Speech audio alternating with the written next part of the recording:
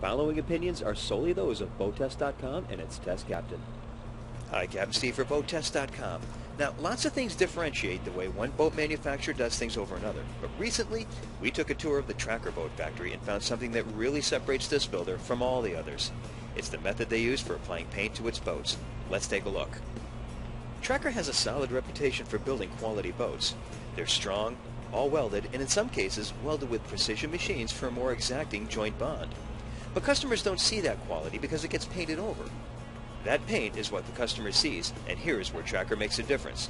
Applying paint to metal is a traditional method that looks good at first, but paint doesn't adhere to metal forever. It flakes, chips, and when air gets under a chip, it can begin to rust or oxidize. There's an alternative, and it's one we usually see with wakeboard towers or side rails on premium boats. It's called powder coating, and powder coating is exactly as the name implies. Dry paint powder is sprayed onto the metal and then melted on for an even covering that lasts longer and is much more durable. But powder coating a whole boat? You bet. Let's take a look at how it's done at Tracker. It starts with a chemical wash. Even though the boat is unused, it still has lots of hands on it and those hands have oil on them. A clean surface is a must, so this wash ensures a clean hull.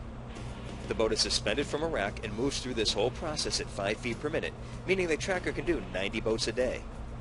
Then the boat needs to be dried.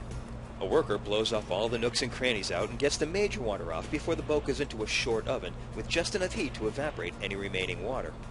Then the boat is turned sideways and gets a coat of powder paint applied to the bare metal. This is done by a machine for an even coating. So how does the powder adhere to the metal? From an electrostatic charge. The powder is positively charged and the boat has a negative charge. Opposites attract and the powder adheres.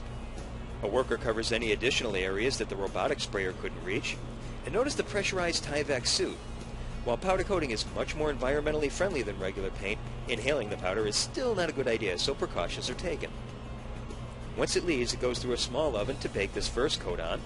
When it comes out, it's checked for quality control. In some instances, a two-color scheme is applied. For that, a reusable pattern is taped in place all around the hull.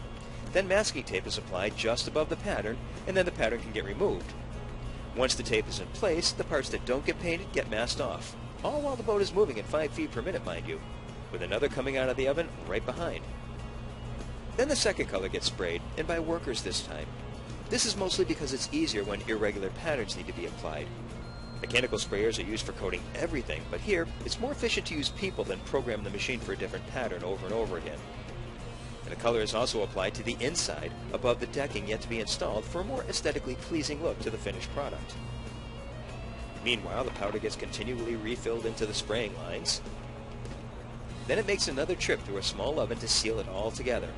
After that second baking, the masking is removed, and it's here where any overspray can simply be wiped off as well. Then the boats get a final application of clear coat. This gives it its final coat of protection, and this application actually goes on white.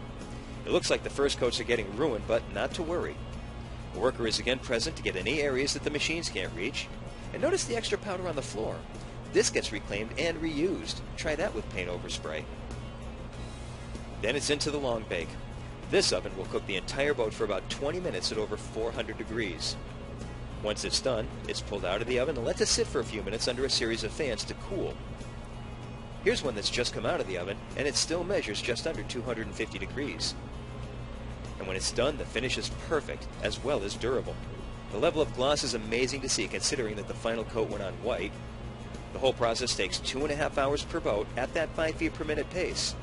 Then, it's rolled upright and put onto a dolly for moving to final assembly. Obviously, powder coating is a more expensive process, but Tracker prides itself on quality, and this is another way to add more of that to its products.